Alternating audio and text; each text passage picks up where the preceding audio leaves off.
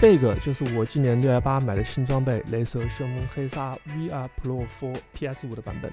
相比之前推出的 VR Pro，新的版本在适配性上进行了一些升级，特别是这次更好兼容到了 PS5、Switch 以及 Xbox 这样的主机设备。而我此前的主力耳机都是这一只索尼的 PS5 Elite。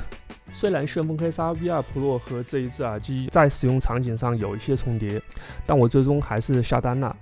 其实这也是我考虑蛮久才做出的决定。那么是为什么呢？是不是 Elite 不行？那么接着往后面看，可能你就知道了。新款旋风黑鲨 V2 Pro for PS5 版本，从外包装上的配色就能一眼看出它和 PS5 的关联性，并且插上 PS5 后，也能和索尼第一方耳机一样，开启 PS5 中的 3D 音效。开启 3D 音效后，整个空间感和包裹感就特别足。因为本身这款耳机的发声单元就是使用的五十毫米镀钛驱动单元，那相比那台 Push Elite 的平面振膜单元，在低音部分就会更加有优势。所以开启 3D 音效后，玩 3A 大作临场感就会更好。但是玩 FPS 游戏记得关掉这个设置，因为突出环绕音的 3D 音效会大幅淡化游戏音效的指向性，非常影响判断脚步声、枪声的准确方位。所以玩 FPS 一定记得关掉 3D 音效。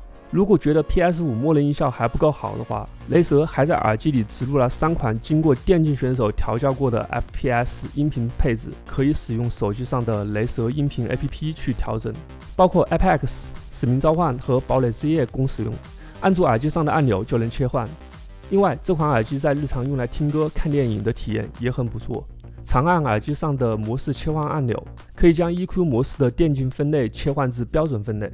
在标准 EQ 分类下，它提供了音乐、游戏、电影自定义几个选项，满足日常需求完全没有问题。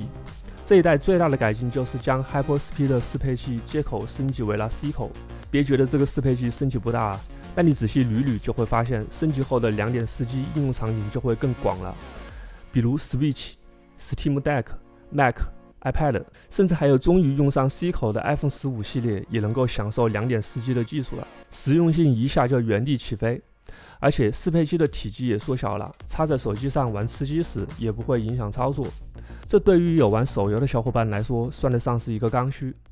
我选择这款耳机还有一个蛮大的原因，就是它的佩戴感。首先，它足够轻，整体重量三百二十克，它是一个什么概念呢？在旗舰级无线电竞耳机里面，算得上是一个非常轻的存在了。同时，它又足够稳定，特别是这个耳罩与头梁连接的钢制滑桥，看起来有点弱不禁风，但实际上特别扎实。从某种程度上还实现了减重的效果。再一个就是非常舒服，头梁内侧和耳罩表面都使用了编织材料，时间长了也不用担心会掉皮磨破，而且夏天会更加透气。耳罩内饰的记忆海绵也很柔软，适合长时间佩戴。音质部分，旋风黑鲨 VR Pro 作为雷蛇最强的电竞旗舰，2023年年度北美电竞耳机的销冠，职业赛事的常客，打游戏的能力应该无需多言了。雷蛇这颗50毫米镀钛驱动单元拥有自己的专利设计，可以分别驱动单元里的三个频段，高音能够推得更通透，中音更细腻，低音也会更强劲。实际用下来，我是非常满意。麦克风采用了可拆卸设计，支持 Hyper Clear 超宽频技术，能够以 32K 赫兹的采样率录制声音，可以捕捉更多的细节。看一下这个麦头的造型，你们心里就应该有谱了。现在呢，你们听到的就是这个 Hyper Clear 麦克风实际收音的效果。为了对比呢，现在你们听到的就是索尼这个 Push Elite 麦克风所收音的效果。这两个声音是不是明显有差别？你们觉得哪个声音更好听呢？另外续航我也很满意，之前 Elite 只有二十个小时续航，因为总是插在 PS5 上玩，同样走的是两点四 G，所以实际续航肯定要会更低一些，甚至要低一小半。现在换成了旋风黑鲨 VR Pro 后，官方宣称最高续航来到了七十个小时。那么，即便是我全程用两点四 G 来玩，也要比 Elite 的续航高上不少，而且还是翻倍的高。我实际使用下来，两个小时掉了百分之五的电，感觉满电玩四十个小时问题不大。根据我的游戏频率啊，基本上可以做到半个月充一次。所以看到这里呢，我想你们应该知道我为什么会买它了吧？